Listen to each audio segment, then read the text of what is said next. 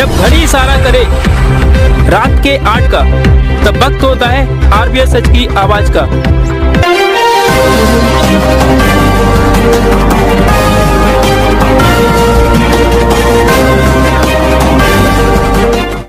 नमस्कार मैं हूँ संजय भारद्वाज और आप देख रहे हैं आरबीएस सच की आवाज़।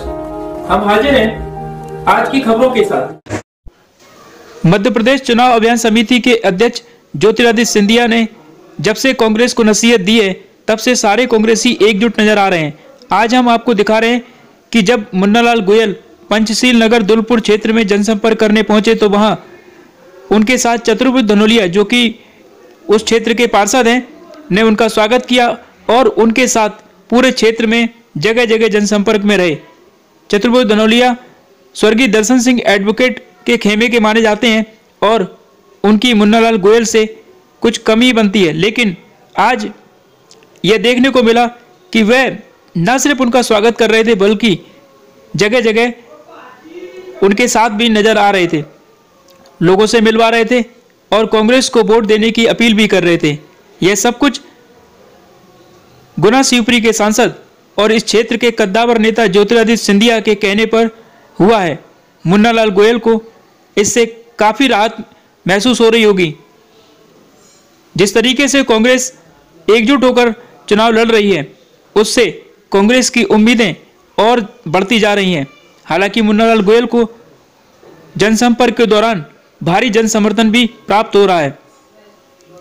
उनके साथ महिलाएँ, युवा, बुज़ुर्ग सभी कंधे से कंधा मिलाकर चल रहे हैं और यह दृश्य आपको मुरार के साथ पूरे शहर में देखने को मिल जाएगा, जहाँ मुन्नालाल गोयल के साथ में वरिष्ठ नेता देवेंद्र शर्मा, जो कि शहर जिला कांग्रेस अध्यक्ष हैं, वह भी जगह जगह पर उनके साथ प्रचार कर रहे हैं।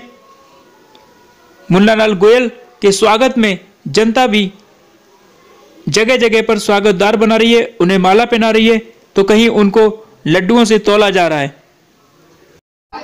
आप सभी को पता है 28 तारीख को मतदान होना है और जैसे जैसे मतदान की तारीख नज़दीक आती जा रही है, प्रत्याशियों का जनसंपर्क भी उतना ही तेज होता जा रहा है।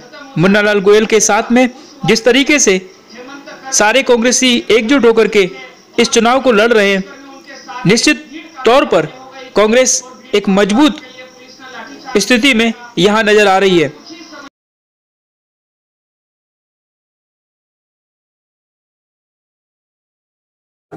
आज की खबरों में बस इतना ही।